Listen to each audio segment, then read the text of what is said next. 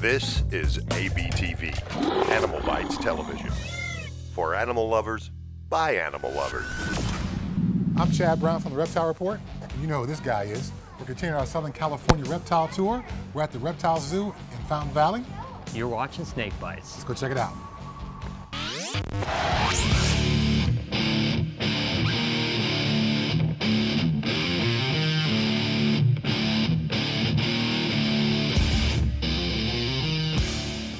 What's hey, up, Jay? Hey, what's up, Chad? Good to see you, man. Hey. What's up, man? How you doing, dude? Look, yeah, pretty good. How you guys doing? We're doing great. Here to learn all about the reptile zoo and all this awesomeness you got going here. Well, like uh, you know, basically, this is my little fantasy dream here. Zoo, and we converted, uh, you know, half the store into a reptile zoo, and we're actually got an expansion plan, which is pretty cool. We're about halfway done with it, but even already we got our alligator enclosure in, and we got giant snapping turtle. We even have a movie star here, Mr. Kipling from uh, Disney Channel. Great, yeah, I know. Well, so how long's the zoo been here? Uh, the zoo is exactly five years almost to the day. That's so fantastic. we opened up five years ago. So, so over the course of the five years at the zoo, I mean, thousands and thousands of kids have come through here and, And touched reptiles for the first hundreds time. and hundreds of thousands. That's amazing. That- so you're doing good work then. yeah, I love what I do, and it doesn't change no matter how long I've been doing it. So, Well, hey, we're here to see some animals. Let's see what you got. okay, check let's it out, go. man. Let's We got lots of cool stuff.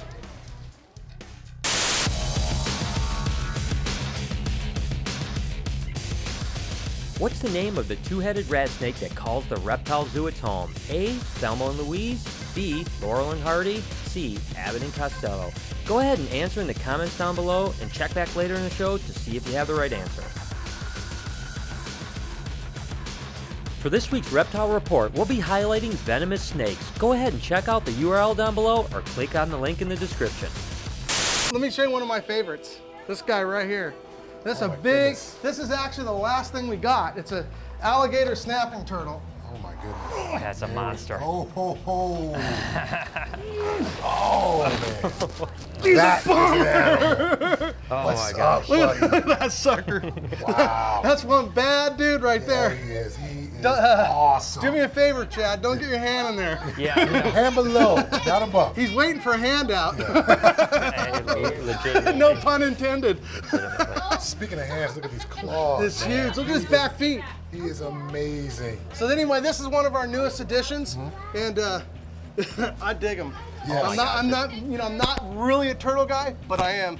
I Oh, like yeah, big, cool amazing. things. I like big croc monitors, big giant retics. Right. This guy's getting heavy. Here, you want to take over? Yeah, Sure. Turn, Brian. You got it. All right.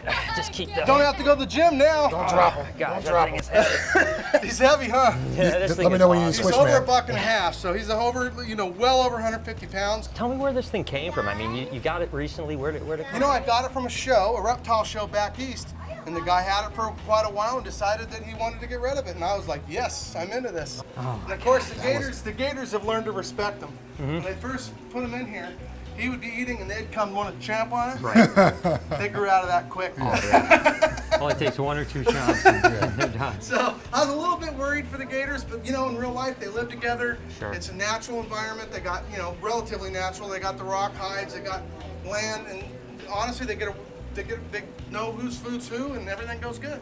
Tell me a little bit about the gators in here. Uh, you know, the Darth over there is our famous gator. We had him named on. We basically made a YouTube video, Okay. Facebook, s- uh, social media named him. So he's he, Darth Gator one without hands Classic, down. right? Classic, classic. And uh, he's the biggest one we got, but amazingly enough, not none of these gators here are about. I don't think more. It's more than about four years old. So I gotta know, can I get inside here or what? You know, you can enter at your own risk. The Okay. truth of the matter is, is they're actually really tame gators, but they're really food responsive. This is their place where they get fed Right. in, and anything that goes in, they think's fair game. Right. And uh, if they figure out that you're not food, then you're good. Well, that's the thing. I think with crocodilians, they have an understanding. Their territory and your territory. When they think it's their territory, game on. Absolutely the truth. So, but hey, you know what? So I will go seriously. All right, that's later. Let, us go look at some. Come other on, stuff. check. I'm going to show you guys one of my one of my favorite chameleons. Parsons chameleons are one of the largest chameleons on the planet. And this one sure was a beauty, but one of the coolest things about chameleons is that long tongue and the way that they feed. And we're about to see a pretty good example of that. Bam! Nice. That's his native food, by the way. Madagascar hissing cockroaches. What we have here is a Baron's racer. Now, these are really interesting animals that come from South America. They're a rear-fanged venomous animal, but as you can see, they're typically extremely placid and rarely will bite. And even if they do, you typically get some mild swelling, maybe some nausea, so they're really not that bad. They're the largest colubrid down in South America, getting up to 10 feet in length, but typically they're only gonna get about six or seven feet. But the thing that I absolutely love about them is that little nose appendage, much much like the rhino rats. Now what's interesting is the males will stay much smaller and typically won't have nearly as much of a nose piece to them. And the females typically have nice long ones like that. And again, that's gonna attract prey because these are extremely arboreal snakes that spend all their time up in the trees. This is just gonna basically attract birds to come along and little lizards and they're gonna nail them when they think that that might be a little worm or some kind of a leech. Truly a cool snake. What we have here is the mangrove snake. Now these are another rear fang venomous animal and this guy seems to have a little bit of an attitude so I have to make sure that I'm keeping him kind of attached to my hand and not towards my face because trust me I don't want to take a bite by even a mildly venomous snake to the face. Now these are actually Boiga dendrophila. They come from Southeast Asia, and it's that black and yellow pattern that makes them such spectacular animals. They're typically known as cat-eyed snakes. They spend the majority of the time in the trees. Again, these guys are gonna eat lizards, birds, and sometimes even other snakes. But there's certainly some spectacular animals. I tell you, I don't want to take a bite from this guy, but man, I am really enjoying playing with him. Now he's coming around, you gotta be really careful. You can see he's starting to get a little bit more attentive, but that tongue is going pretty quick, so he's thinking, what's going on here? Whew, what a beautiful animal. Brian's been showing you some rear fang species of snakes. When people think of lizards, they don't think of venomous, but there are two species of venomous lizards on the planet. The Mexican beaded lizard and these guys, Gila monsters, native to the southwest part of the United States. These are an awesome species of lizard, super easy to care for in captivity. In fact, would make an ideal pet because they're almost bulletproof, other than the fact that they're venomous. In the wild, they eat nestling rodents, uh, newly hatched birds. They're pretty slow moving, so they're not going to catch too many things out in the wild. But in captivity, they do just fine on a diet of mice. Uh, very difficult to breed consistently in captivity. At Pro Exotics, we bred them for a number of years, but we were lucky if we got 50% of our eggs to hatch. Um, there are two different subspecies of Gila monsters. This is a reticulated type. There's also a banded type, which is more highly prized in captivity for its strong, crisply banded pattern. Uh, again, a beautiful animal would make an ideal pet if they weren't venomous. So this is the famous Mrs. Kipling, huh? Hey, don't even go there. He's Mr. Kipling to me, but he's a really cool lizard. I've had him. He was actually he's actually carries a gene for right. uh, sulfur. Correct. Right. Actually, I've never bred him, but I bred his uh, sisters. Okay. And I'm gonna go grab one of the sisters if you want to take him right there. Absolutely. Yeah, so sulfur monitors are actually uh, an Asian water monitor, but How, it's a color mutation, and that gives you an idea what one of these looks like. Holy cow. that thing is gorgeous. Is that ridiculous or what? So this, when I said go get her, this is actually him, and this is from Mr. Kipling's uh, sister. So this is a nephew. Right. This is this is one of their first ones, and I was really happy with the outcome. Beautiful, beautiful. Yeah, animal. absolutely beautiful genetics. So these are just these are just water monitors. You know, we're calling them by their TV names, Mr. or Mrs. That's Kipling, right. or Sulfur is their morph name. These are just regular old Indonesian water monitors. Correct. Big, giant, beautiful tame lizards. Captive-born water monitor are incredible pets. Oh yeah, when you can really tame them out. I mean, they, they, have a few defenses here. I mean, these these claws are really powerful. Oh, you certainly never so want to get bit, and then they certainly have another pretty nasty thing that they can do to you too. yeah. That may not scar you, except emotionally. And that's they can just dump on you. I mean, it's absolutely amazing the amount of waste little, that they oh, can do. There's have. a little a little fact about him. When he goes to set, they have a rule. He has to be out of his cage and he has to make his make his move before he's allowed on set. Okay, so you got the large sulfur monitors, Correct. the largest species of python in captivity. that we take. Absolutely. Obviously, you like the large reptiles. What was it? I, I, I guess I'm trying to offset for something, but I love big animals. I won't, I won't, okay, I won't go there. You probably sell sulcatas, large tortoises. I as well. love I love galops. All right, so what do you think about the public, the general public? The Large general water- public. Large water monitors, big retics, large tortoises. Well, I don't think large dogs are for everybody. Right. I don't think large anything's for everybody. And I think at the end of the day, I don't think motorcycles are for everybody. Mm-hmm. And so we all have choices in life. And I think that really what this comes down to, this whole argument, is how much people can control our lives. And I think that when my hobby doesn't conflict in your life, I really think it's out of line for people to write laws. This is another rear fang venomous snake that's endemic to South America. It's called a false water cobra. And the reason it's called a false cobra is because it has the same ability to flatten its neck out, kind of like a cobra. Now, of course, they do this to make themselves look larger to predators, so it's a really cool defense mechanism. Now, what's interesting about these guys is that it's different than, say, the cat eye snakes, is that these have round pupils because they're a diurnal animal, which typically just means that they spend the majority of their time roaming around during the day and not at night.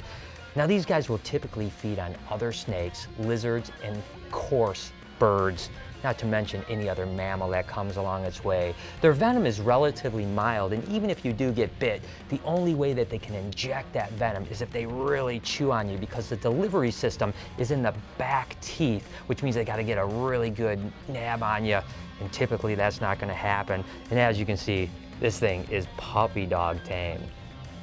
This Jabba the Hutt looking thing is an African bullfrog from South Africa, also known in the pet trade as the pixie frog. We always think of pixies as being small, but this thing is huge. It eats whatever it can fit into its mouth. These guys will puff themselves up full of air when they're frightened to make themselves appear even bigger.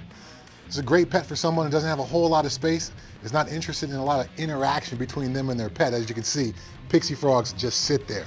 The African bullfrog, about as big as a frog gets. What we have here is a Madagascan tree boa, or Sanzinia madagascarensis, obviously endemic to Madagascar. These guys will typically obviously live up in the trees and they're also a live bearer, having up to 10 babies, but more typically six or eight, pretty big ones. But what's really cool about them is the fact that when they're born, they're bright red and absolutely stunning animals. Not that they're bad as adults either. This happens to be a mandarin phase, and I just love that really triangular head that they have. I tell you what, if you came across this animal in the wild, you would certainly probably think it was a venomous snake. Here at the Reptile Zoo, everyone's familiar with all the big retics. This is another species of python, although much smaller. This is a New World burrowing python, the only species of python from the New World. These guys are from uh, South America, and as you can see, they don't get nearly the same size as the retics. They've got this awesome shiny iridescence to them, and those occasional white scales that you see, those aren't scars, those aren't piebald markings. That's part of the natural coloration of, of this species. Uh, the Latin name on these guys is Loxocemus bicolor. Uh, one of the coolest pythons, but definitely one of the most unknown and uh, underappreciated pythons within the pet trade. If you're looking for something small and really cool and, and rare, this is a species I can highly recommend. Jay, dude, this has been awesome. Thank you so much, man. The Reptile Zoo is absolutely incredible. Well, I'll tell you, I love what I do, and I tell you, I love showing it to people who love reptiles, and, and this is my thing, so. You've done an awesome job. This, this is an amazing facility. You should be quite proud of what you Well, accomplished it's, here. it's strictly ran on passion. Good job, so man. peace, Let's peace see- out, dude. It's nice seeing you guys, Yep. and I hope to see you again. See the show. Take All right, care. see you, man.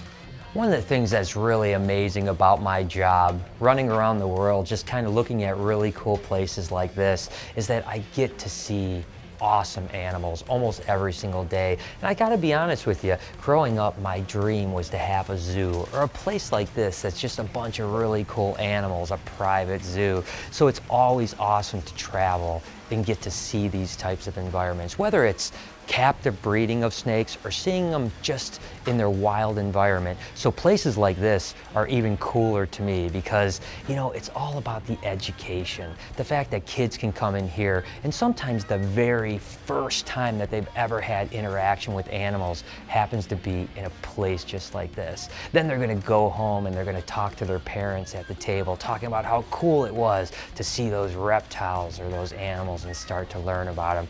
That's what it's really about instilling the passion into the youth of the future when it comes to wildlife. What's the name of the two-headed rat snake that calls the reptile zoo its home? If you said A, Thelma and Louise, you're 100% correct. Good job. So there it is. I hope you guys enjoyed the show as much as we enjoyed showing it to you. Go ahead and check out the link in the description. It's a pretty cool place. And as always, I was Facebooking and tweeting my way through it. So make sure to follow me over at Snake Bytes TV. Till next week, you've been watching Snake Bytes. Oh. Now we're entering the land of the crocodiles.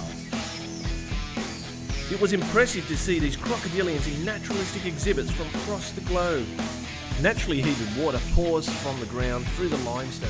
This is ABTV,